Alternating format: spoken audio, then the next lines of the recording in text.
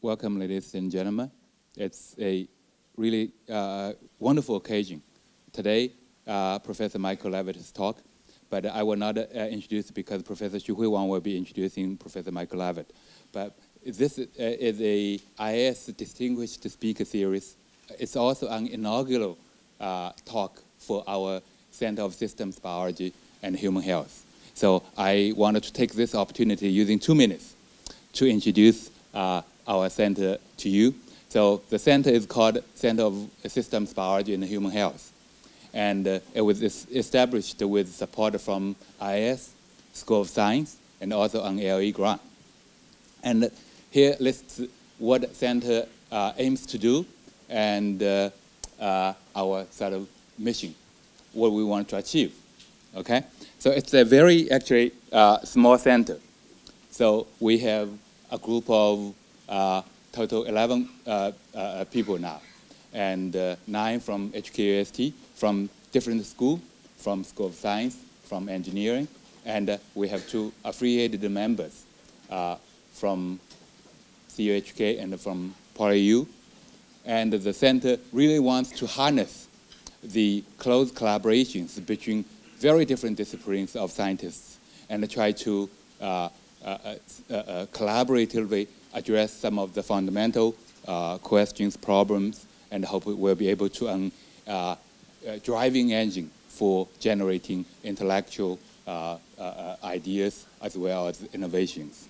So I will not spend any more time on that. If you wanted to know uh, more details, you can visit our uh, center's website. And uh, with this, I would like to pass the podium to Xuhui.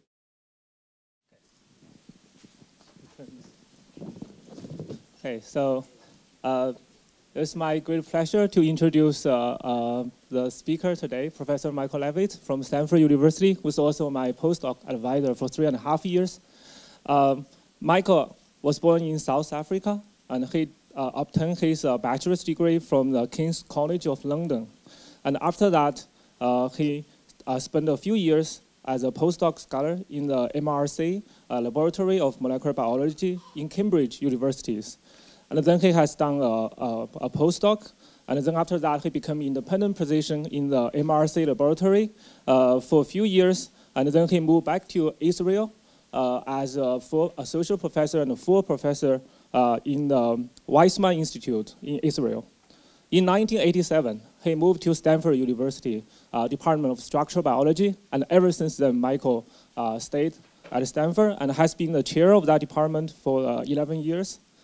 Um, Michael has won the numerous honors and awards. He's a, a, fellow of Royal Society, member of U.S. National Academy of Science, and of course, most strikingly, he won the Nobel Prize in Chemistry in 2013 uh, with Martin Karplus and Arieh Warshel for his work on the multi-scale modeling of the biological macromolecules.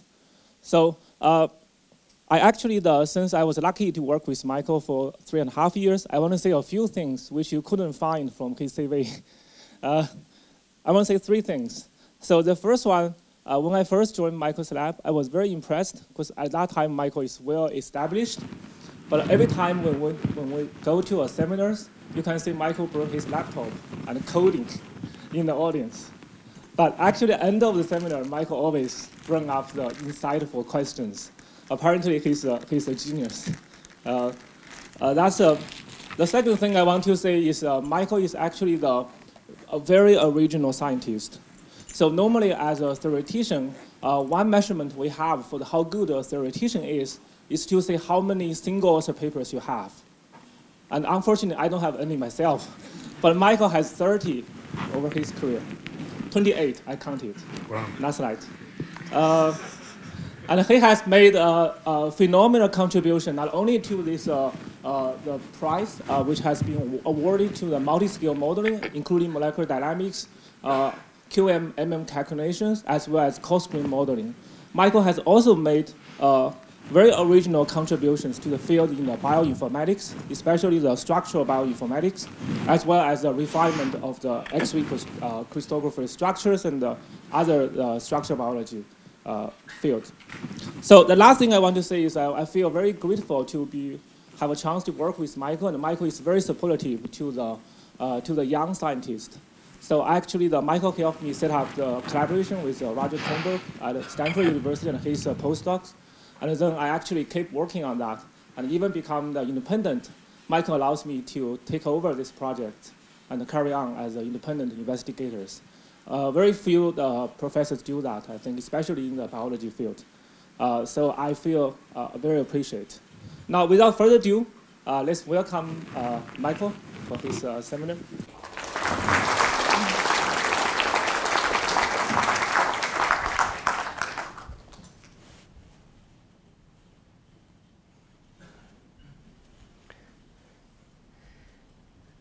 Thank you so very much, Shui. Um, it was somewhat embarrassing, but I was happy to hear about the 28 papers. I didn't actually know what the number was, so uh, and uh, yeah, um, I, I, sort of see it much more in terms of our collaboration with Roger. That you got me into that, but it, it always works both ways. So, uh, been a great pleasure. Uh, this is actually my first visit to Hong Kong, but in three and a half days I could probably give a two-hour lecture on all the great things about Hong Kong, but we don't have enough time. So let me uh, focus on my talk today. As Shui said, this talk is going to deal with uh, sort of the topic of the uh, Swedish medal we got. It's very difficult to know how to refer to this. You don't want to refer to it as a Nobel Prize. So sometimes in computer science I say, I'm now NP complete, Nobel Prize complete. But then I tell everyone that means everything is now exponentially difficult.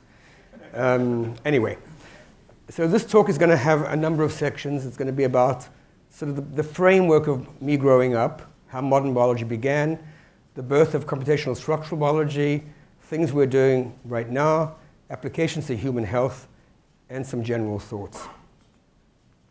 So I guess it really helps to be in a field at a time when there have been giants sort of making huge steps forward, and you can sort of stand on their shoulders. Now, I was born in 1947, and in the 60s, I was, I guess, a teenager.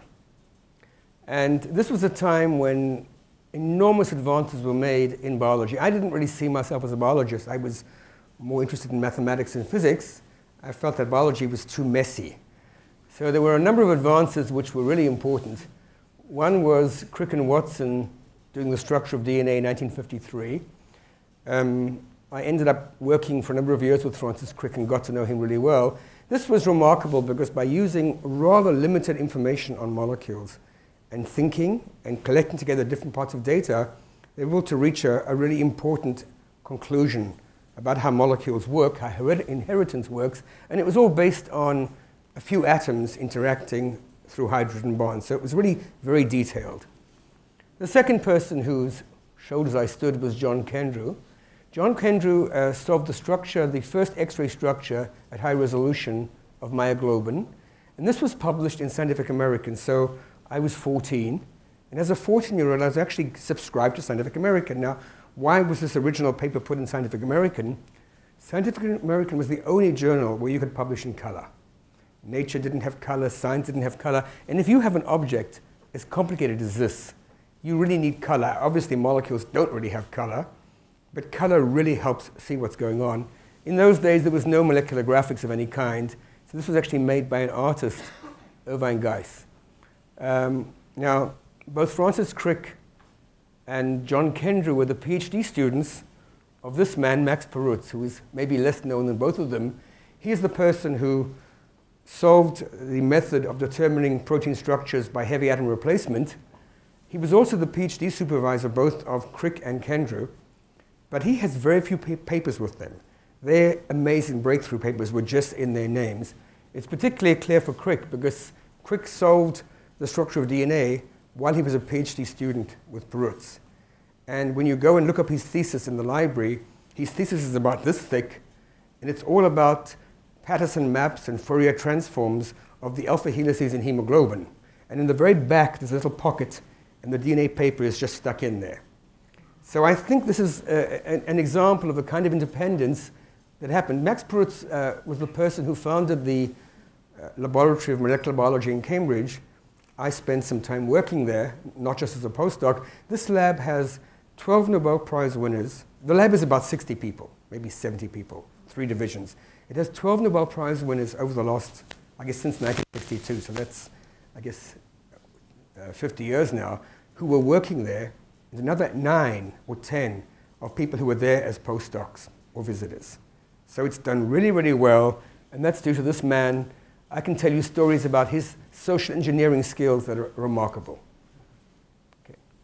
So uh, what about the birth of computational structural biology? So essentially, the revolution in biology was that details matter. Structure matters. Details are very important. And function comes from structure. So we, uh, at this point, go back to John Kendrew. Uh, here's a much later picture of John Kendrew. John Kendrew won the Nobel Prize together with Max Perutz, his PhD supervisor, in 1962. 13 months after going to Stockholm in the winter of 1964, January 1964, he had prepared a television program that was essentially a description of modern biology. In those days, it was called molecular biology. You might call it structural biology today. And uh, actually, the uh, different programs were what you might put into a modern introductory course in biology. Okay. Now, how did I come to this? So I was born in South Africa. I lived there until I was 16. And then I went to visit my uncle and aunt in London. And in South Africa at that time, there was no television. It didn't exist. I'd never seen television. My uncle and aunt living in London, who were scientists, had television. And as soon as I saw it, I was addicted completely. I had to see television. In those days, televisions weren't even black and white, they were black and yellow. It was really hard to have the intensity you need for white.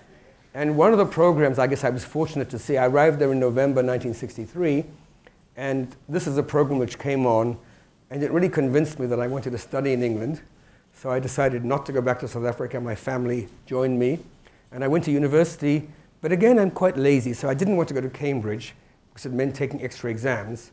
So I went to university in London to study physics. Again, physics is a lazy choice because in physics you don't have to learn all the things you have to learn in chemistry and in biology. You can sort of guess most things from common sense and a few, a few laws. So I finished my uh, BS degree in, in physics uh, towards the, I guess, the summer of 1967.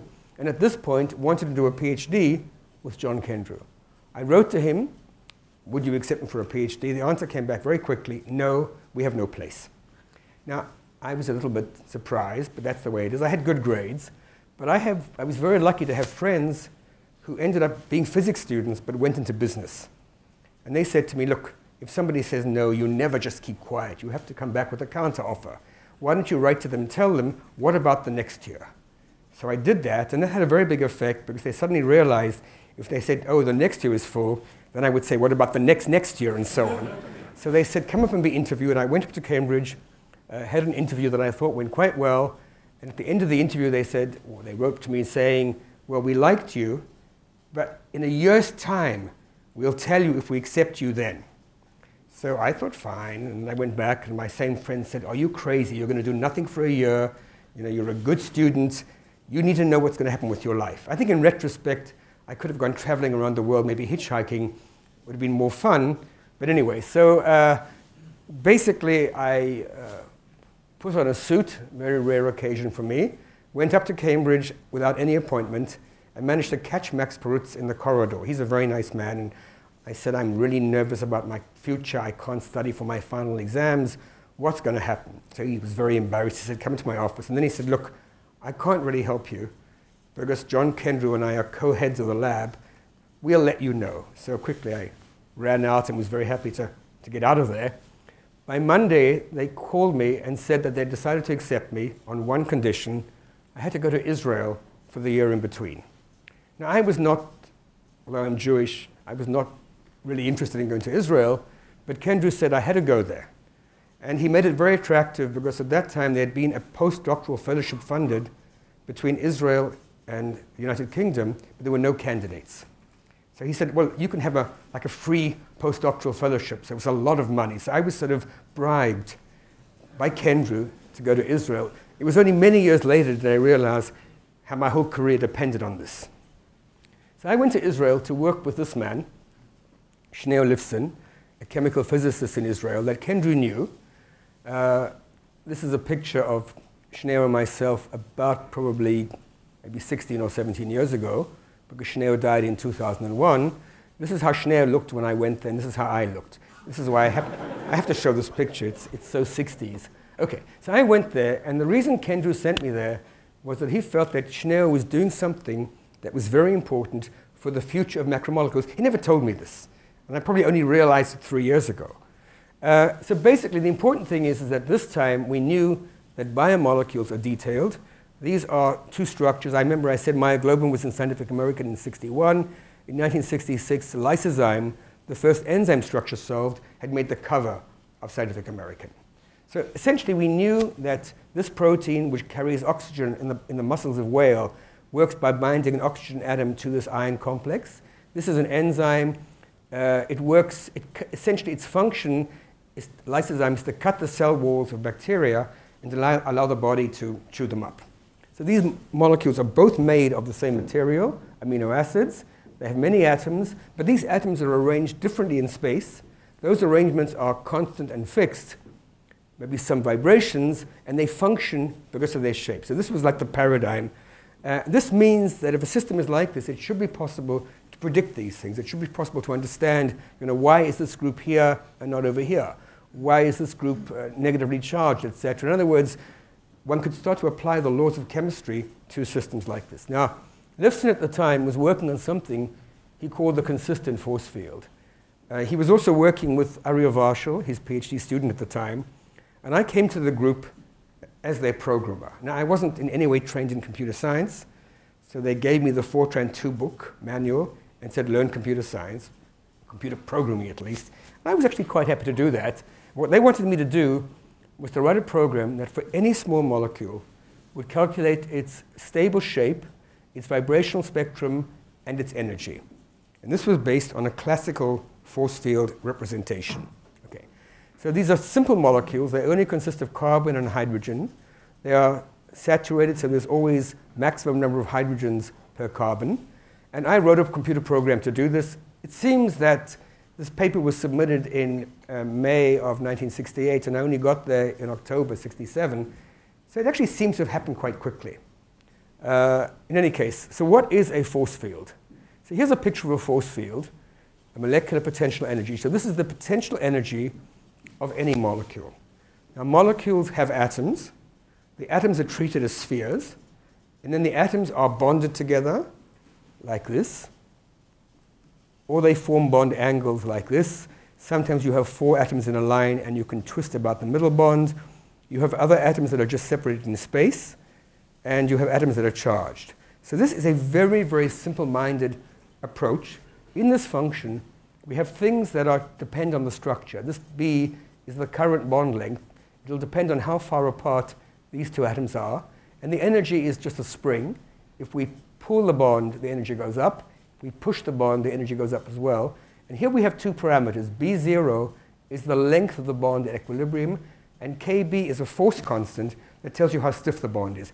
These are the parameters that Lifson wanted to derive consistently. And basically, up until that time, when people had looked at small molecules, they had said, oh, carbon is different in uh, maybe in ethanol and different in methane and different in ethane, every time there were different parameters, Lifson said, no, a carbon is a carbon. At least a saturated carbon is a, a carbon. So this meant that there weren't too many parameters, and we were able then to uh, use sets of, use least squares to determine these parameters by fitting these properties of molecules. So the idea is, is to calculate properties of the molecules, fit the properties to experimental properties by changing these functions. Now, what's interesting about this energy function, probably most interesting to me looking back, is we had to use an energy function like this back then. But now, almost 50 years later, people are still using an energy function like this. And it's probably fair to say that uh, half of the world's academic supercomputer time is involved in, in, in, in evaluating this function. So you could say it has a very bad carbon, carbon dioxide footprint. I mean, a lot of energy is spent on this energy function. Now, if you actually look at this, you can make the point very clear by seeing that each of these terms can be associated with a physicist long dead. Uh, these are the dates, I guess, of birth of these people. And you could actually say that this is the dead physicist energy function. I'm saying that a little bit to annoy people who are currently using it, because actually I think we need to start thinking about new energy functions. And as I said, physics is lazy, and I'm particularly lazy. It turns out if you have the energy function, you can have the potential energy function, you can calculate lots of properties of the system. So here's an example of a very simple one-dimensional energy function, energy position. That could be a bit like a roller coaster. What can we do? So one thing we can do is minimize. We can start out at a high point and drop to a low point. Again, one nice thing about physics is that what works in one dimension usually works in any number of dimensions. So these are the stable points. So there are many points along here, but there are only two semi-stable points. Then you can take a position like this and do vibrational analysis or normal mode dynamics, where we just drop the particle and let it vibrate about a minimum in two dimensions. Then we have a modification of minimization where we add kinetic energy, and now we start out, but instead of stopping at the first minimum, we can go out and then finally take out the kinetic energy and settle down. That's molecular dynamics. And finally, we have a method called Monte Carlo, which means you jump around and you accept the move if you go downhill, and you sometimes accept the move if you go uphill. So it's a very, very simple method. Again, you can add dates to this, and it's a very large range from Euclid all the way to Metropolis. Metropolis is probably most interesting because that's a paper, this is the date of birth, that's a paper that was published in 1955, and the authors are Metropolis, Metropolis, Rosenbluth, Rosenbluth, and Edward Teller. He was the father of the hydrogen bomb, and this was a classified method, it's so simple, that was actually used to study neutron diffusion in hydrogen bombs. So, kind of interesting. Now, at the same time I was in Israel for that year, uh, I ended up getting involved in building a model of a protein. I was a programmer, and once I'd finished my program for Lifson and Warshel, I sort of had nothing to do. So I volunteered to build a model of lysozyme. Uh, in, in Israel at that time, at the Weizmann Institute, there was a biochemist called Nathan Sharon. He had a PhD student called Yuval Ishtat, and I sort of volunteered. Now, Sharon was working on lysozyme, a biochemical problem. So therefore, lysozyme, as solved by David Phillips, was an important thing for him to study. He had asked David Phillips to send him the coordinates in a computer listing, and he'd also gone out and bought the components. The components are quite expensive. It probably would cost, if you could buy these today, $5,000 to build a model like this. It's also a lot of work. There's a lot of pieces. It's like a three-dimensional jigsaw puzzle where you have to clamp all the pieces and measure their positions and set angles. It's actually quite fun to do. The scary thing is that even when you've done it, it's really hard to see what's going on. So when that picture of myoglobin and lysozyme were actually painted, the painter saw this and produced a beautifully clear picture. It's a lot of work. Now, it's a lot of work, it's painful, but it's some ways you learn the structure, but it sort of begs to be computerized. The trouble was that I had written a program for small molecules, maybe up to 36 atoms. Uh, cyclohexane has 36 atoms. It has 18 atoms, I'm sorry. But this, even this, this lysozyme, I think, had something like 101, 1,001 atoms, and myoglobin had 1,400 atoms. So what could we do? So it turns out it was actually not a big problem because my program had been designed to do uh, calculate stable conformations, calculate energies, but also calculate vibrations. And vibrations require second derivatives, which is a matrix. And second derivatives for 18 atoms occupies almost the same amount of space as first derivatives for 1,000 atoms. So it turned out to be quite easy to modify the programs, to go back to the force field and sort of guess energy terms for, carb, for oxygen and nitrogen and sulfur, because a whole protein is a lot more complicated than uh, a saturated alkane, and do the calculation. This led to my very first paper with Shneur Lifson. Here's the energy function we used. It is very similar to this energy function. We actually did not use partial charges, which we didn't know about them at that point. And we were able, in something like 20 minutes on a computer of that time, to take an entire protein and minimize its energy.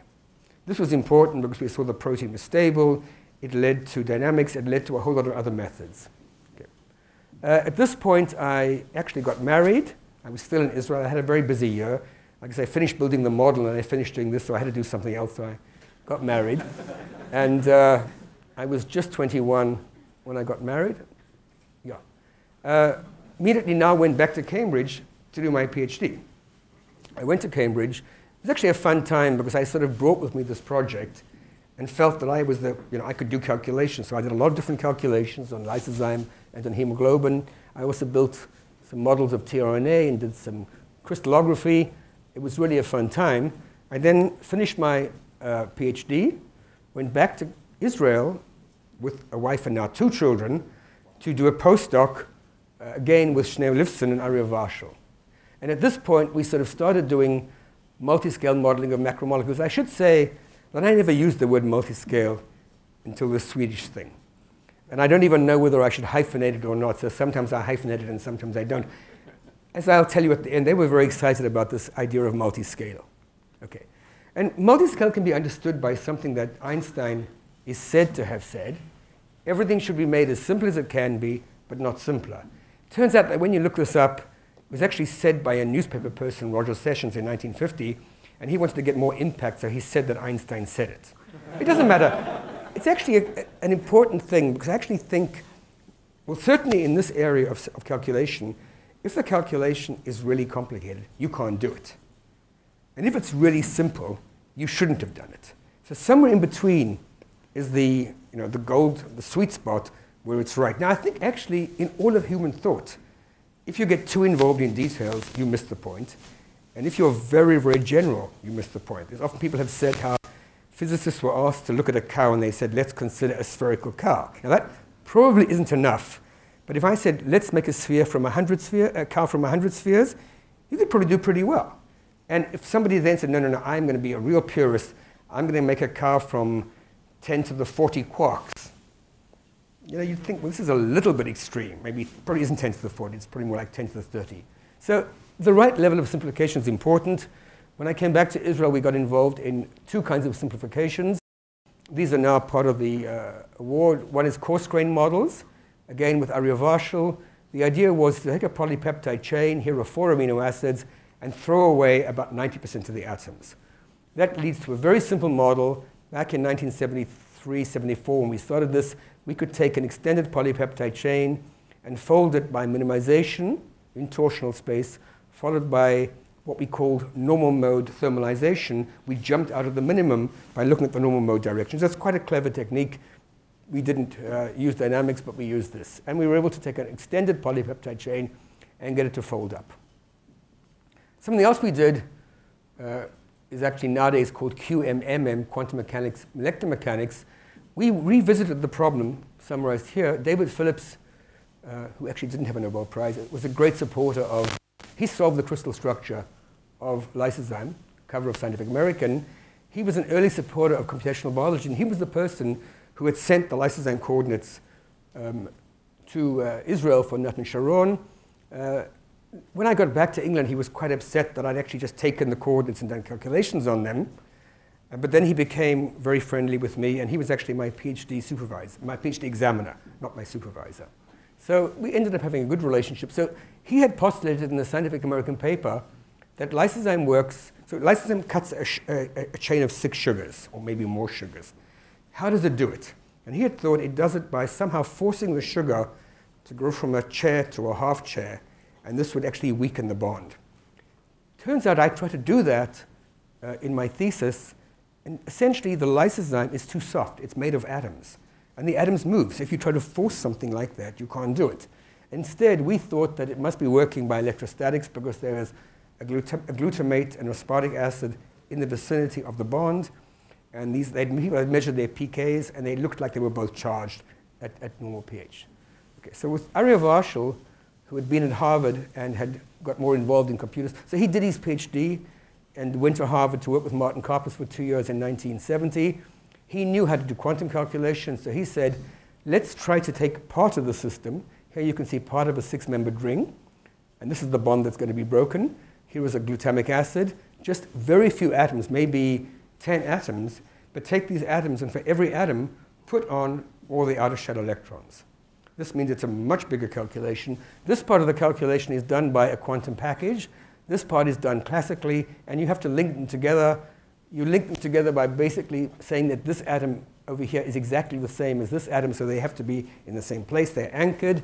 And also electrostatics from the environment is very important here because this, this interaction is going to depend very much on the surrounding field. In fact, we actually had to introduce one of the first solvent models around a protein where we basically surrounded the protein by Langevin dipoles that could change the, they could change the polarizability but not move. Okay. So this led to uh, a second paper. At this point, uh, the word started to spread. This is now 1976.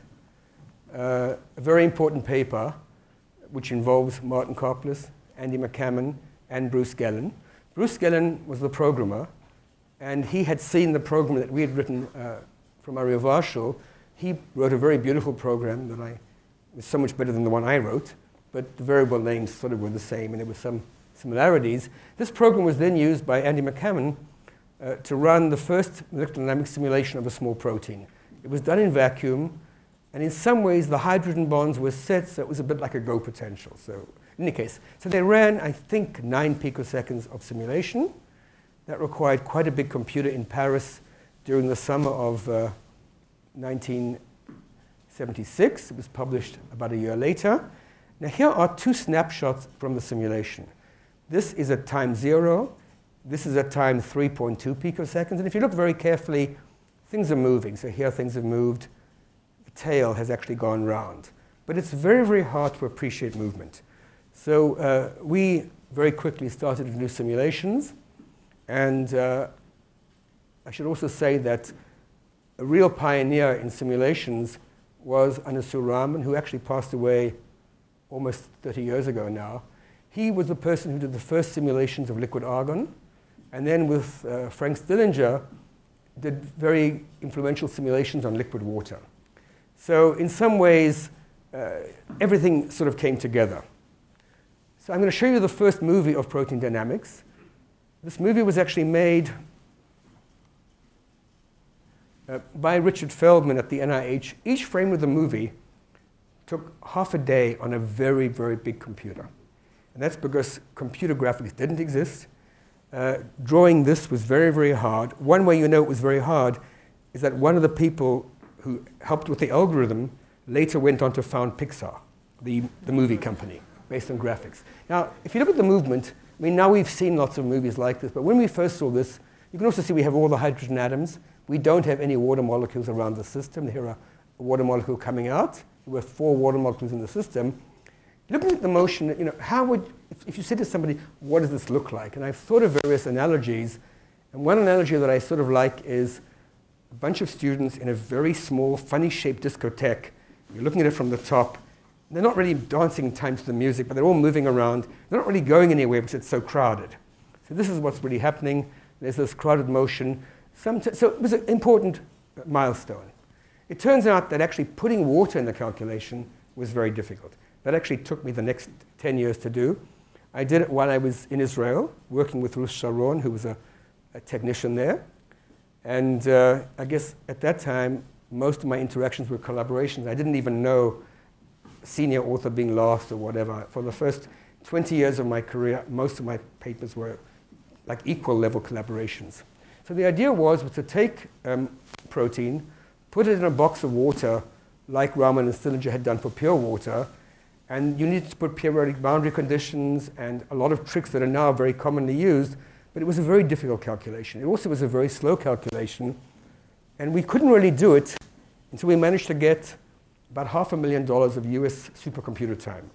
Probably even more. It was, 2000, it was 200 hours of Cray XMP time in 1986.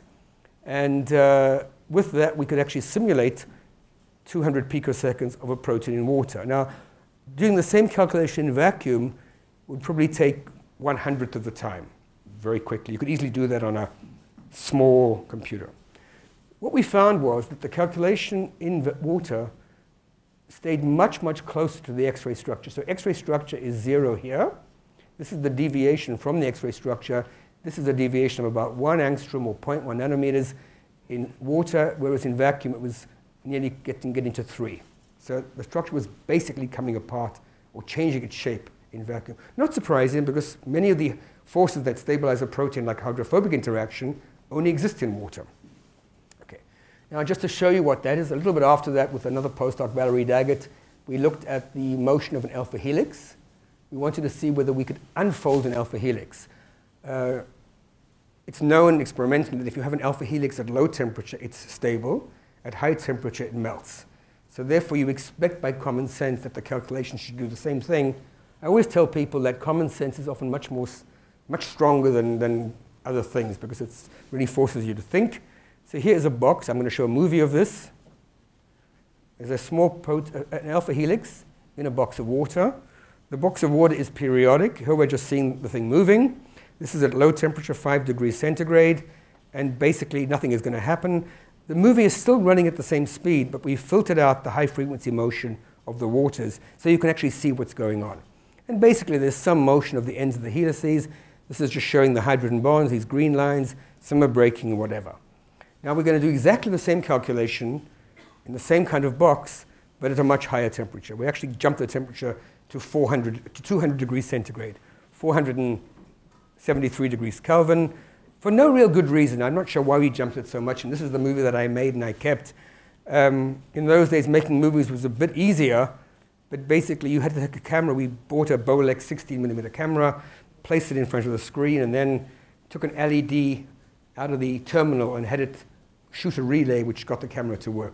That was like the only electronics I've ever done. But it worked. Except I didn't often line up the screen very well. You can see it's crooked. Anyway, so here is the, the alanine in a box of waters. There's a nice scene when it moves to space filling that I'm just going to wait for. Can, it looks a bit like a snake or something like that. Again, viewing these things is actually quite important because you see things that you wouldn't otherwise see. Okay. At the same time, we also did a simulation. This is my first PhD student. Uh, Valerie Daggett was, I think, my first postdoc. Again, I'm now 40 years old and I've been doing science for 20 years. So uh, Miri Hirshberg, in her thesis, worked on doing exactly the same thing for DNA. We had seen that in water, DNA is very stable. In vacuum, it's horribly unstable. Not surprising because in DNA, we have very negatively charged phosphate groups and then very positively charged counterions. Uh, here's a movie. It starts out with a base pair. This is a GC base pair which breaks very quickly. It goes from being a pair to a stack, which is sort of known to occur experimentally. The bad thing about this calculation was that Miri got sick and the calculation was not really properly published. So it wasn't really published until the conference proceedings in 1996. But we were able to do simulations of DNA in 1990 that were really very stable. Here we now have 12 base pairs of DNA in water. And it's going to start moving just now. And the important thing is it's not going to fall apart. Uh, this calculation, I don't know how long it goes for. Here you see the counterions moving, the water molecules moving. There's some movement here at the end of this helix that the base pair breaks. And then there's another base pair that breaks in here. It reforms again. But basically, the structure is behaving in a nice, stable way. I try to make it go faster and faster uh, to try to see if something goes wrong because the eye is very sensitive. So now we're going up to uh, 250, 300, 400 picoseconds, and nothing too much happens. Okay. So now, this is sort of the classical period, what is happening now. So we're now looking at large structures. Now, the structures are huge. The previous things we were looking at have between 150 and maybe 2,000 atoms. We're now looking at things that have hundreds of thousands or tens of thousands of atoms, much, much bigger structures. And these structures actually have moving parts. When I talked about lysozyme, I said it was electrostatics. Things move by diffusion, but the large machines in biology are a bit like motors. They have pieces that move and pieces that don't move. And it's critical in all this work, I think, is to reduce degrees of freedom.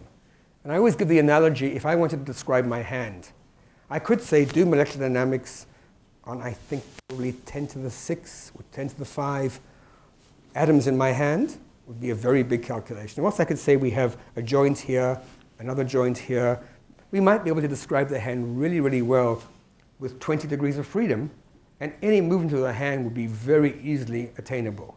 So oftentimes, all the atoms are not necessary. So my first piece of work involves uh, Shui and uh, his PhD student, uh, no, postdoc, Daniel Silva.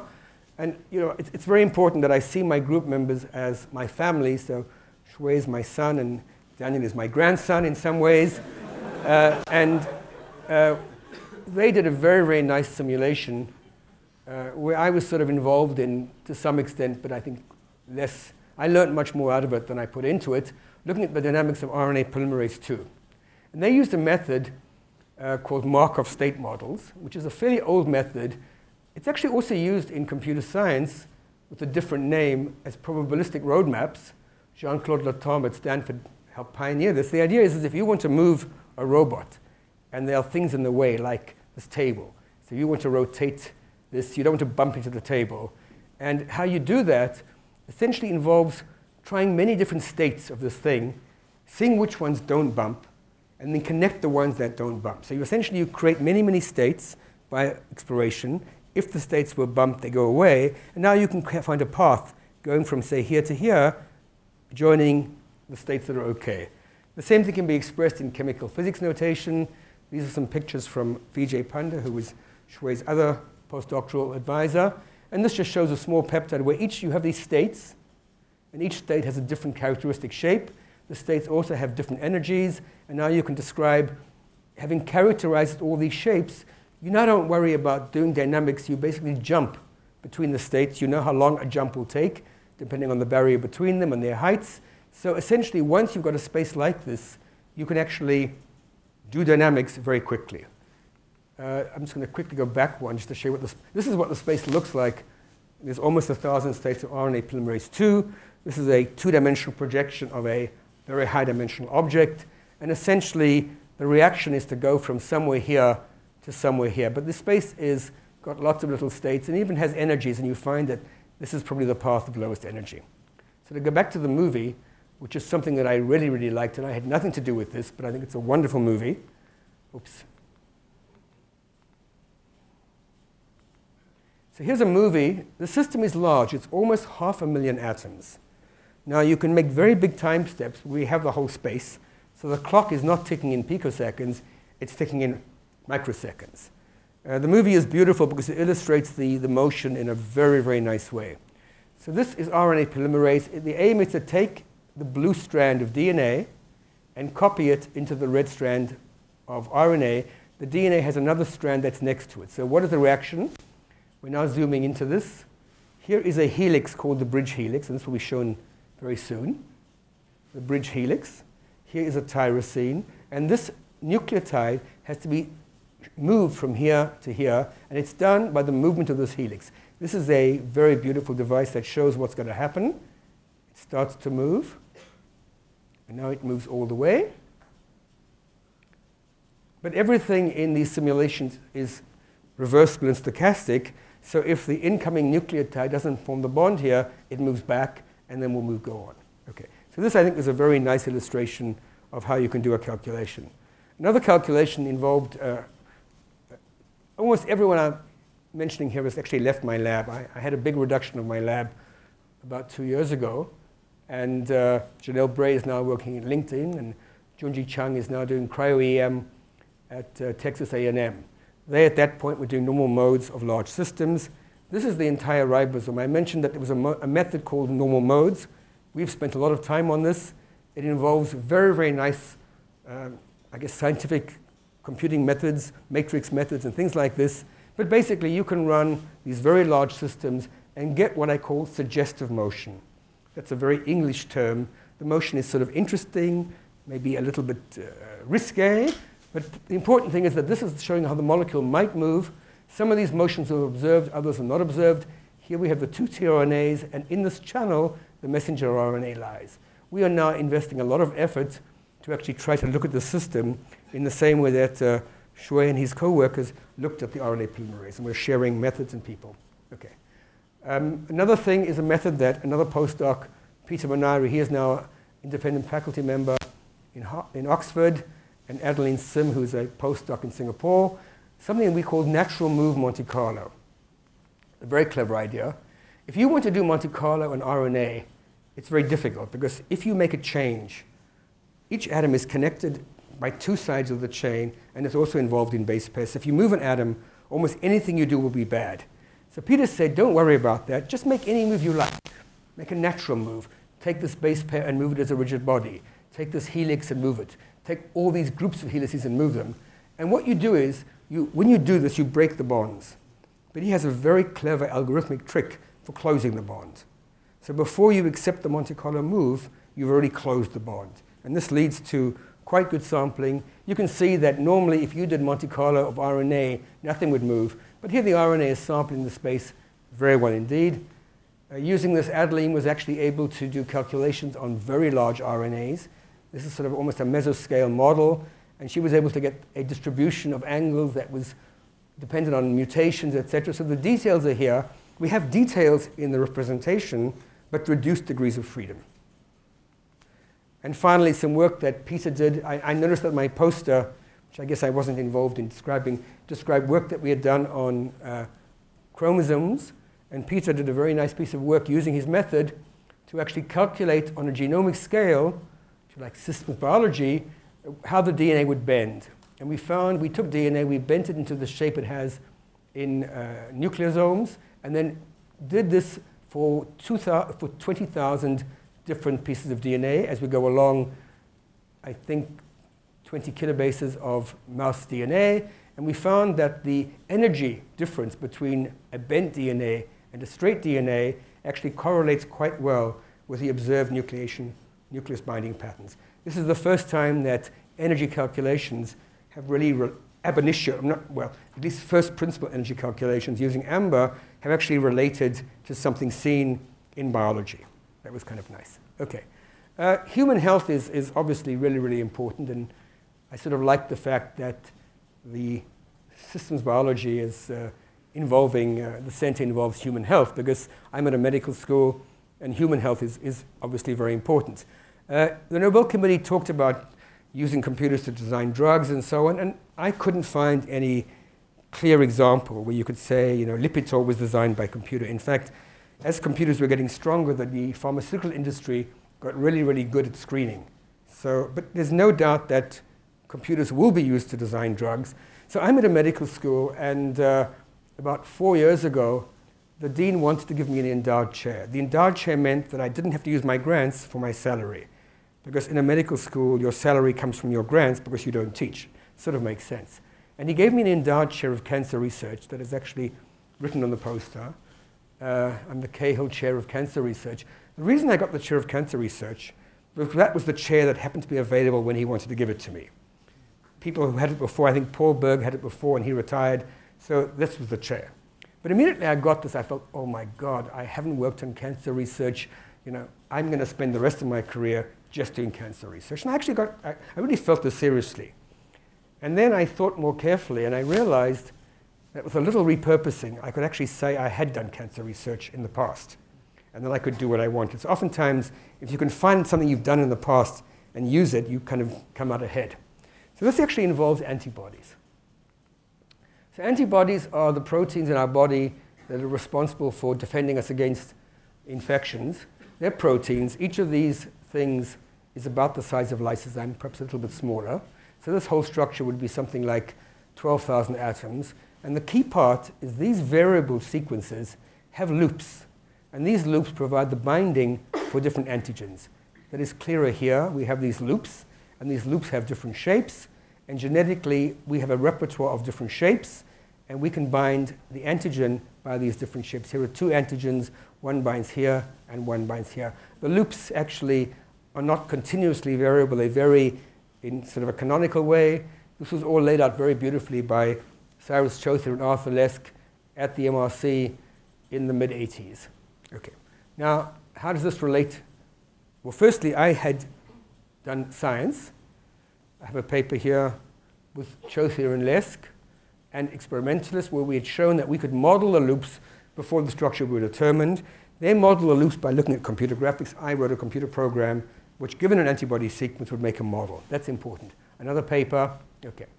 At this time, I moved to Stanford, and Stanford is full of startup companies. And Roger Kornberg, who attracted me to Stanford, said, you know, as an additional attraction, you can be an advisor to this company, formed by a mathematician, Cary Queen.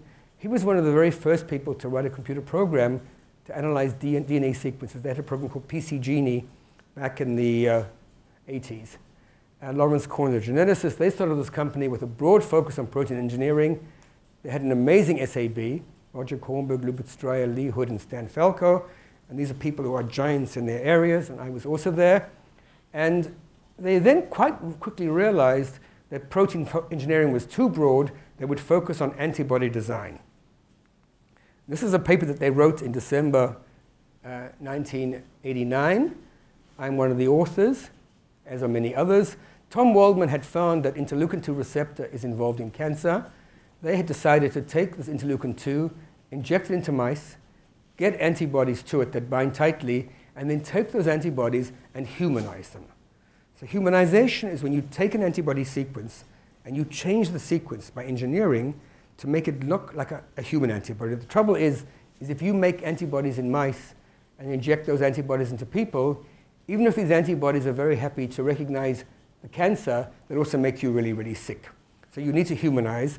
Humanization had actually been done before. Greg Winter in Cambridge had done humanization just about the same time that Lesk and Chothia in the same lab were designing and analyzing antibody structures. Unfortunately, he didn't talk to them enough. And what he said is we can do humanization in a very simple way. We take the loops. So if you actually look at the structure, there are these loops that I mentioned before. We take the loops from the mouse antibody. We take everything else from the human antibody, and we make a chimera. This can be done easily by genetic engineering. And this was then patented and used as a method for getting antibodies. Uh, Queen realized that you, once he saw the structure, that you had to be more careful because there are residues shown here in blue that sometimes interact very strongly with residues in red. And maybe you, have to, you want the red ones to remain exactly the same shape. So sometimes changing one of the blue ones might help. So he filed a different patent, and his patent said you uh, choose the CDR residues from the mouse antibody, you choose up to three residues in this blue region, and then furthermore, you choose a framework from human that actually looks as much as the mouse as possible, because we all have quite large repertoires of sequences of antibodies. And you can often find a mouse antibody which is very close to a human antibody. So if a mouse antibody has a certain sequence, look at all the human antibodies. And these things together gave a much higher rate. So the key thing about a humanized antibody is that it should bind the antigen just as strongly as the original antibody. This worked. Because they were a startup company, they patented everything. They have a patent that actually issued, I guess, last, well, 25 years ago, last month, in uh, December 1989. This patent meant that they actually had very good protection. The company, Protein Design Lab, grew. It reached a peak valuation of $7 billion in 2001, in the first 10 years. Then things started to go wrong, management, etc. And right now, the company still exists. It has, on the stock market, it pays an incredibly large dividend of like 30%. And it is managed by seven lawyers living next to Lake Tahoe in Nevada, therefore not paying California sales tax. Now, why did this happen?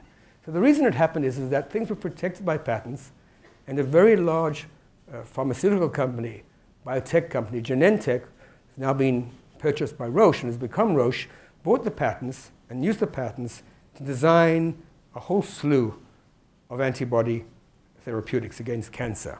When you look at these, this is actually a graph showing how much money Protein Design Lab got as royalties. So this is almost half a billion dollars in 2012. Now, it would have been even higher in 2013, higher in 2014, and zero in 2015 because the patents expired. But the important thing is, is that thanks to the combination of startup, uh, basically investing in patenting, having a big biotech invest a lot of money in manufacturing and marketing, this ended up being perhaps really good for cancer and one of the few cancer therapeutics that can really help under certain circumstances. So this enabled me to go to the family, the Cahill family, and tell them how I'd actually been working in cancer research. But of course, I told them that it was sort of a joke, and I hope to do more. So uh, in any case, okay.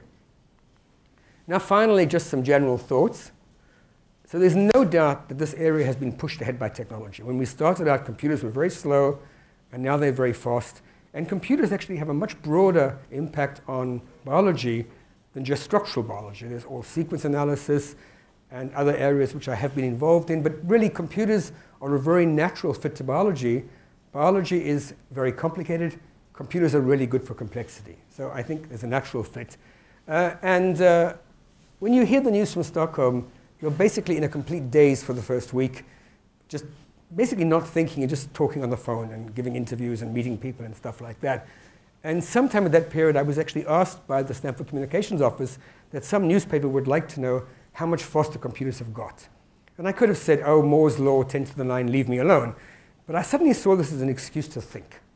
So I sat down and actually worked out, I redid the calculations that I'd done in 1967, and I discovered that my laptop, the same one here, is actually 10,000 times faster, 10,000 times cheaper, has 10,000 times more memory, and is at least 10,000 times smaller. Now, those numbers are a little bit skewed. If I said I really had 16 gigabytes, it would have been 16,000 times. And, uh, you know, uh, these, these numbers are a little bit difficult to get. The cost, this is having to convert dollars from that time to you, to current dollars, etc. But these numbers are actually are, are okay. This is probably the worst one because I don't know how many laptops you can get in a room this size. I guess it depends if they're open or closed, and if you put them into a rack and use blades, etc. Okay, so as part of my talk in Sweden, I made this joke. If cars were like computers, then a new Volvo would cost $3, have a top speed of a million miles an hour, probably should be one and a half million miles an hour, would carry 50,000 adults in comfort and would park in a shoebox. Now, that is funny and everyone can appreciate that, but it's actually true. I mean, computers have changed that much in all these directions. And what I think is very important is back in 1967, if somebody had said, you're going to get 10 to the 9 fold increase, I would have said, come on or even 10 to the 16 fold. Leave me alone. I don't believe that. Uh, but the fact is it's, it's true. And I think if you look forward the next 40 years, it's likely to even be more true. I mean, nowadays, you know, we have in our pockets, uh, like I put it in my bag so it wouldn't ring, cell phones that are way more powerful than the machine we used back then. Much more memory, etc. So this is really true. Um, what, what is next? And this is always an interesting question. So I believe that we need to have much, much better energy functions. I mentioned, so let's just say we have an increase of 10 to the 9 time and you know, time per dollar for doing simulations. You don't really care how big the computer is if you're doing a calculation. You, know, you, you just do it. Uh, so what has been done with this factor of 1,000 million? So it's sort of interesting. So the systems are up to 100 times bigger. So we say that RNA polymerase was half a million atoms before we had done things on 1,000 atoms, maybe. So let's say it's 10 to the 3 times bigger, 10,000 times bigger. And the simulations are about a million times longer. But the energy calculations are actually simpler than the ones we were using uh, back in the, in, in the 60s. We don't use lone pairs anymore, etc. So why is this? And I think it is a combination of the need to get better sampling to see that things work, the need to look at more interesting biological systems to encourage the biologists, but some of, of a neglect to invest some of that time in better methods. The energy functions that are used by Amber and CHARMM and NAMD and so on are still really quite similar. I mean, in details different from the Lifson energy functions, but not hugely different. And I actually think that what has happened in the last period, this massive increase of computer time has really, really improved quantum calculations. So you can take uh, two water molecules, put them in any arrangement, and get a very good estimate of the energy of interaction. So from that, you can then parameterize a force field. This is some work that was done by a Russian group, which I was involved with, that was sort of active uh, in the, from like 2002 to 2008. It was actually funded by Cary Queen, the same founder of Protein Design Lab. He had this crazy idea that you could get better drugs from better physics. He's a mathematician, so um, it was interesting because in the uh, early part of the last decade, you could actually get really good physicists in Russia very cheaply. And we were always joking that they knew much more about hydrogen bombs than they knew about hydrogen bonds. Um, but in any case, they were very, very smart, and they chose this parameterization. This parameterization, which involves sort of electrostatics and exchange and induction and dispersion, gave very good transferability. Now, what do I mean by transferability? They worked out an energy function for two water molecules. They then did the same thing for two methane molecules. then using what they derived for those two, they worked out what should be the energy of interaction of water methane. And then they calculated it by quantum mechanics, and it was almost exactly right. So this continued. The work is now continuing. We actually used this recently in a simulation where we took Buckminster fullerene car carbon 60 and did a large simulation of this in a box of waters. Gaurav Chopra and Leonid Pereyaslavets. Leonid was actually one of the employees of the, the Russian company, but he was a postdoc in my lab as well. And we saw that the way waters arrange around this molecule is quite different with quantum calculations than with classical calculations. Okay. My current group is small. We actually have four people, but I still need to get a good picture of the fourth one. Uh, Andrea is working on comparing whole genomes. Jana is working on cryo-EM of membrane proteins. Ivan is working on the X-ray phase problem, and he's a real expert in density functional theory quantum mechanics. During his PhD, he wrote a program for GPUs called TeraChem, and anyone who's done quantum calculations would, would know about this. And the fourth person, uh, Nick Corsepius, is going to be working on uh, the ribosome. He also works on chaperonins, so uh, way things are. But it's a small group, which is kind of nice. Family support is really important in science. I'm very, very lucky. My mother is going to be 100 in March. This is her about a year and a half ago, happily enjoying a pizza. My wife of 47 years with our granddaughter. This is a Jewish festival where everyone dresses up a bit like Halloween. So my wife has actually painted a flower on her face. This is not a rare skin disease. Uh, and very shortly after getting the news from Sweden, a postdoc of ours whom we know very well, Shui knows him as well, sent my wife this email. You know the old saying, behind every successful man there is a surprised wife. Surprisingly, this joke is not well known, and, and I've, given, I've given this lecture probably 50 times already, and I thought at some point that this is a very sexist statement. Perhaps what I should say is behind every successful person, there's a surprised spouse. Not funny. And then if you go even further and say behind every successful woman, there's a surprised man, it actually sounds really nasty. So it's actually interesting how these things depend like this. I think in life you, you need to take chances. At the age of 60, I discovered hiking. And this was me going over a quite high mountain pass in Patagonia in Chile. And everyone thinks I'm doing my email, but there's no reception. I'm just looking at the map and seeing how much further I have to go. I have maybe 16 or 18 kilos on my back. It's very heavy. The young people are very cold, and they're wearing all this clothes. I'm basically overheating like crazy. And they're looking at me like, come on, move ahead. We were all together. They were very nice to me. Uh, but, you know, maybe don't be too stupid. So uh, about three years ago, maybe four years ago, um, so, so we have a lot of scientists from Sweden who like to come to Stanford in November, December, January because of the temperature difference and the light difference. So they actually got a, got a grant called Sweden Stanford Exchange. And mostly during the winter, the people from Sweden would come to Stanford. And then there was some money left over, and I said, let's have a meeting in Sweden. And I hoped they would organize the meeting on the archipelago, which is a bit like the wonderful islands you have in Hong Kong. Uh, except uh, they didn't do that. They had the meeting in, in Uppsala, so I decided to actually go to the islands for the weekend before. Now, the islands in Sweden are not hilly like the islands here. They're very flat. And I was, one of my hiking friends whom I'd known from before said, you can't go hiking on those mountains. You have to go sea kayaking. So he told me a, a website where I could rent a sea kayak. It was an island called Utö. I rented a sea kayak. On the flight over to Sweden, I took my camping equipment so I could actually sleep on one of the islands. Sweden has very permissive laws. If you can't see the owner of the land, then you can sleep there. You can't see his house, not that he's walking around. So this means that much of the area you can sleep freely. Uh, I'd also taken the precaution of getting a flash movie, Teach Yourself Kayaking in Five Minutes. So I had read this, but otherwise I was a complete beginner. I started out here. The beginning was very nice because the wind comes from the Baltic Ocean in this direction. There were swans and the water was like a mirror. But then you get to these gaps and the waves start and the water starts. And here there was a big gap. But overall, I actually went up and went down, found my island, slept there for the night, went into a lagoon and came back. Ended up doing something like, I think I, have a, I had a GPS recording it, a little over 30 kilometers in about a little over a day and a half. Uh, I had made two mistakes going there. Uh, one mistake was I didn't bring coffee. So after the, the first morning, I started to get a headache. Uh, but here's my island. It was really beautiful. I mean, here's my tent and my sleeping bag. The other very nice thing, a bit like Hong Kong, in, in the Swedish archipelago, you have cell phone reception always. Now, what was really bad about this was that this was the week before midsummer. This was probably like the maybe the 19th of June. Midsummer weekend is the weekend after the 21st of June. At that time, the population of the archipelago jumps in a step function. It jumps from like zero to 10,000.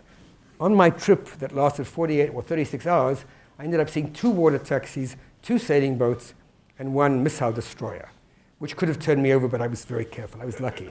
So it might have been somewhat stupid, but I actually think in retrospect it was really fun. And since then, I've been doing a lot more sea kayaking. So it, it's, it's fun. It's a, very, it's a bit like walking on water. It really is an amazing thing. Uh, okay. So my advice to the young, whatever you do, enjoy doing what you're doing. And the reason is, is let's imagine you, know, you want to become a, a doctor, but your parents want you to become a scientist. And you're really successful. You're a successful scientist. But all along, you really would rather be a doctor. So that's kind of not a good idea. And you can be accomplished in many different areas of life and realize that you're going to have to work hard. You're going to have to work for long periods. So enjoy what you're doing. The other thing is to be persistent. If I hadn't have got back to Cambridge about these things, you know, I would not probably have got where I got. Um, be original. In other words, by that I mean is each person is original. We all have different backgrounds and we're, we're unique. We have our own experiences, we have our own teachers, we have our own interests. And therefore, you can find an area that you just like. And I think it's always a danger to follow what somebody else is doing because they're going to have a very big head start. And it's not much fun to work behind because what will usually happen is you will suddenly think, oh, I have this new idea. And just, after, just before you publish it, you know, their paper will appear. And that is kind of sad. It does happen. Uh, so I think that being original is, is a good idea. And actually, people keep on asking me, you know, what is a really good field to work in? And I say to them, please tell me a really bad field to work in. and actually, that's hard to do. You know, if I said, you know, you should not be working on proteins anymore, well, people said this. A big committee in England in the mid, mid 90s said, actually the mid 80s, said we should stop working on protein, in the mid 90s, maybe 80s, whatever. We should, in fact, David Phillips was the chair of this committee. Protein are finished, we have enough structures, we don't need anymore.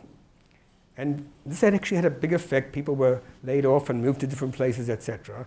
And then very quickly, it, synchrotrons came along, and it didn't make any sense. So I think it's a very dangerous thing. So I think work on anything you enjoy. And finally, be kind and good. Now people say, well, you know, gee, he's a softy, why is this? I say, even if you're really nasty, act kind and good. Because basically, when you act nasty, people who are otherwise very kind will get, get strong. And eventually you will lose. So if you can just disarm people and be very nice, then everyone's happy, and I don't think anyone loses. I wanted just to thank my towering heroes of science, Shneur Lifson, whom I've mentioned extensively, my mentors in Cambridge during my PhD. By the time I got to Cambridge, John Kendrew had actually left to found the European Biology Lab. So my actual supervisor was Bob Diamond, a crystallographer, a mathematical crystallographer. Bob was a great supervisor. I was only his only student, but even then, we actually never got to write any papers together. The closest we got is we actually have two papers that are adjacent in the same journal. now, nowadays, you have to look very carefully to see that. And again, I think independence is very important. Max Perutz, whom I've mentioned, Francis Crick, and Aaron Klug, who was also very influential, he also has a Nobel Prize. So these two are still alive, and the others are not. I've had an interesting group. Most, about one third uh, PhD students, two-third postdocs. I think I've had 45 people from many different places. And as I said, I feel that all of these people are my children.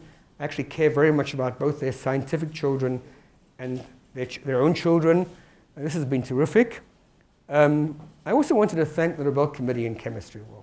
Of course he wants to thank the Nobel Committee in Chemistry and they gave him money. The US government took away half of it, etc. But still, they, they did the right thing. But it turns out that they actually did something much, much more. So firstly, they recognized the importance of computers in biology. And they told me very much that we wanted to get you guys out of the way so we could actually recognize more the role of computers in biology. This is unusual because most Nobel Prizes in biology are given for solving a system, the ribosome, RNA polymerase, ion channels, etc. So usually they involve somebody who worked on one thing for almost all their lives. They instead gave us a Nobel Prize for a method. Now, the chemistry committee do this, but it still was a method that has the most impact in biology. And finally, they so again, a Nobel Prize should be for one thing. So they found this great construction of multiscale. By definition, multiscale is not one thing. In our case, it ended up being three, but it's at least two, multiscale. And they thought this was really a good idea. They said that the idea had been suggested to them by one of the referees. And if I lived another 48 years, I would know, because there's a 50 year thing. I think actually I really do know, but it's really not important. And they even told me that multiscale in Swedish is flerskalig, and it's hardly ever used. Uh, but there's no doubt that whatever we say, this is really, really good for the field. Both, I think, of biology, systems biology, computational biology, structural biology have all benefited enormously from this integration of computing. This is also a bit of a joke because a week after the prize had been announced, there was a big football game at Stanford. And this was against UCLA. I'm not sure if the president is here, but he would like to hear that. And uh, this is Stanford. We actually beat UCLA, so everyone was in a good mood. And at three-quarter time, my wife and I and our grandson were brought onto the field. So the field is the winner, but our field is the winner. But this is another meaning. And here am I wearing my Nerd Nation T-shirt, which is sort of the Stanford Nerd Nation. They sort of like nerds. My grandson, who is actually now almost 12, is very happy. Uh, it turns out on the football field, you are actually very small but they have these huge televisions that show you large. and at this point, all the, all the 50,000 people stood up and started to scream, Nobel Prize, Nobel Prize. So that was a very, very serious high. So since then, it's been downhill. Thank you all for your attention.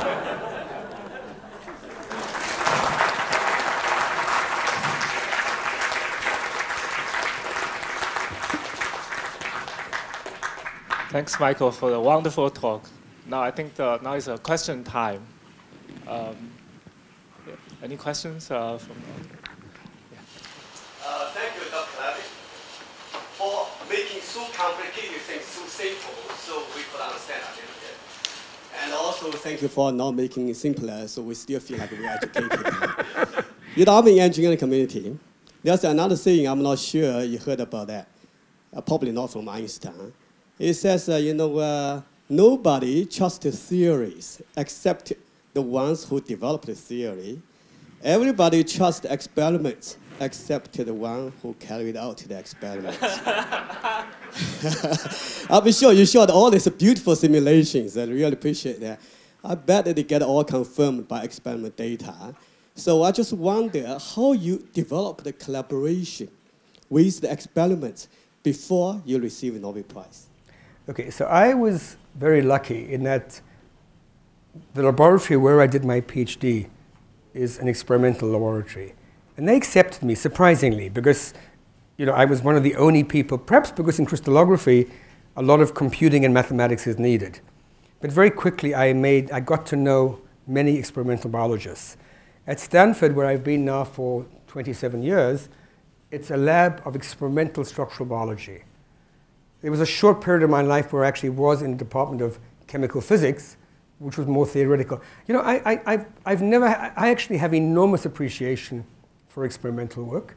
I think the idea of a control that is used in biology is you know, a wonderful step advance in, in the philosophic of science. You know, I think that uh, I agree with you, there was a lot of skepticism, but now you'll actually find that more and more experimentalists are doing calculations.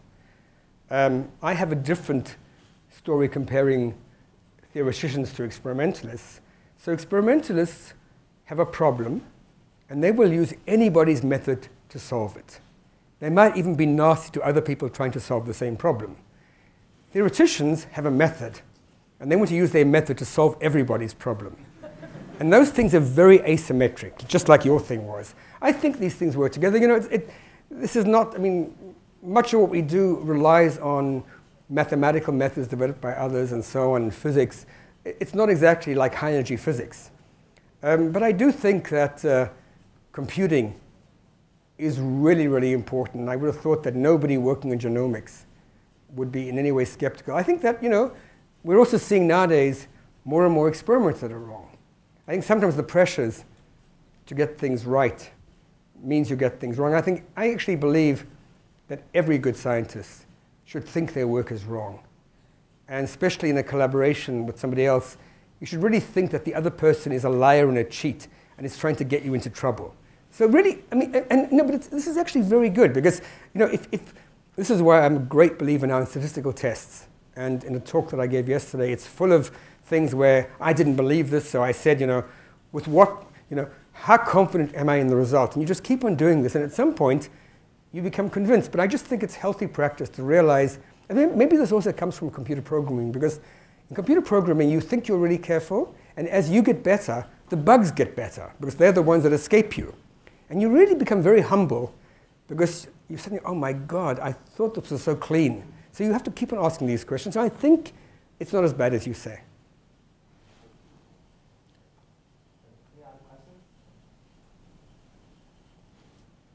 Come and ask questions. The, I should say I gave this talk in, in, in, in Guangzhou, in, in, the mainland, and I asked questions for one hour. And I don't have one hour, but you know, you guys need to ask questions. So Michael, my question is, uh, you mentioned about multi-scale, but now there are actually there are a lot uh, there are cloud uh, cloud computing, and there are a lot of ways to store data. So in the sense another way to uh, interface between the computer and the biology is to actually use those data. So, uh, and what you presented is one of the yeah. so-called computational approaches. So how, but how So I think, I think the whole question, I've been asked this question a few times now, of, you know, the difference between data-based approaches and maybe more physics or intuition or knowledge-based approaches. And I believe, so firstly you could say that simulation has been big data right from the very beginning. I mean, one trajectory is something like maybe 10 billion, maybe a billion sets of coordinates. Each set of coordinates would be one and a half million numbers. So that is pretty big data. If you now, the way we often deal with it is just throwing most of it away. But still, it is a big, big problem. So I am actually not a believer that big data will solve everything. I don't think, I think in areas where we have physical intuition, we can do much better. Uh, I think the big problem with lots of data is often it makes it harder to see what's going on. Now, if I want to predict you know, what side of the shop I should put the drinks versus the crisps, and I can, I can do that very easily by big data. I can try one store this way and another store a different way and see which one gets more sales and then repeat that, and I know. But there isn't really a theory. Maybe there is a theory that you could get afterwards. But I actually think that big data is very useful. But I don't somehow see big data as being, you know, everything is now going to be big data. I think it's going to be good to have the data. But, you know, why is, you know, why is terabyte big data and gigabyte is not big data? Maybe big data is exabyte. Maybe we don't have big data yet. So I think it's become a buzzword. Uh, you know, I mean, uh, we, there's, there's lots, you know, if you like uh, astrophysics, I mean, Earth, Earth satellites have really big data. The uh, detectors at CERN create really big data. There's a new generation of electron microscopes where they create the data so fast that you have to keep on buying hard disks.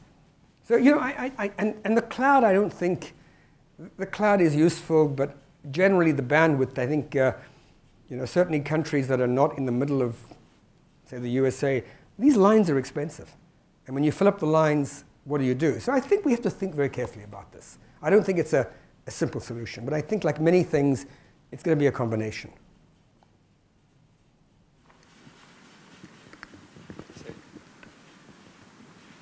Good.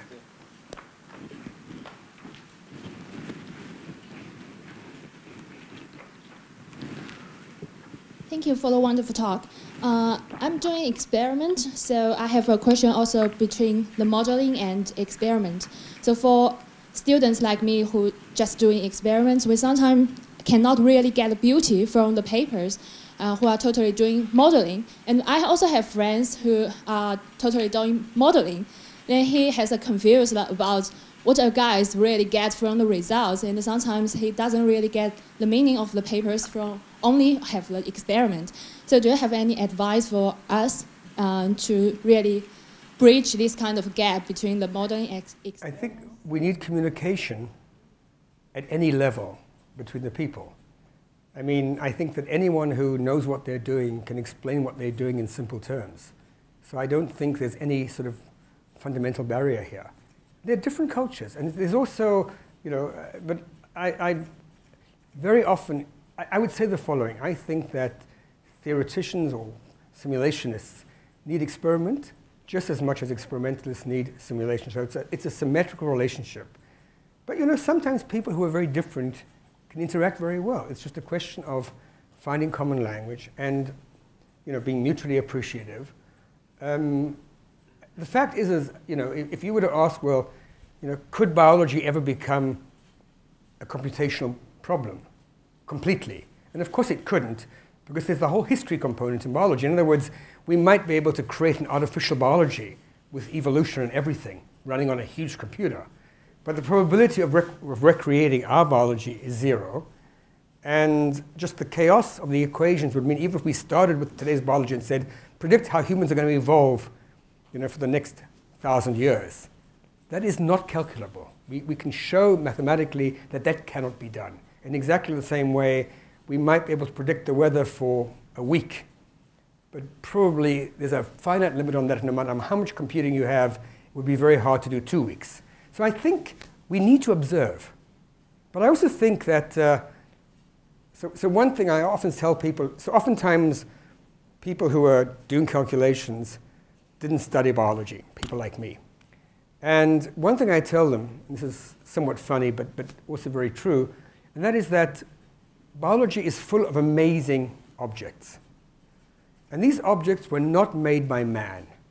You know, you might believe they were made by God in six days, or God in a certain number of millions of years, or evolution, or intelligent design, or whatever you like. The important criterion is they were not made by man. So we can think of biology as being this alien that has left us examples of all these machines that we didn't make. We can learn from them. You could argue that material scientists should be studying biology.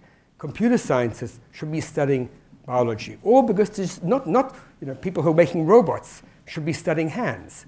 I mean, I'm not saying that what nature has done is always the best possible thing.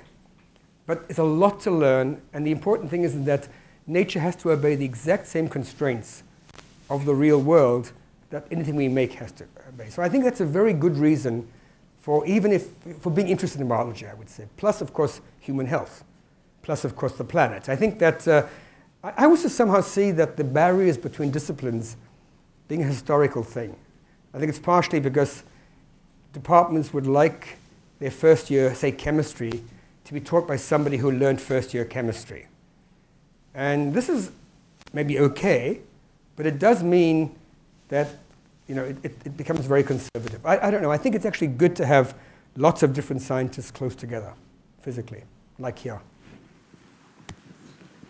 Okay, so uh, uh, time is up. I guess uh, uh let's thank uh, Michael again for his wonderful talk.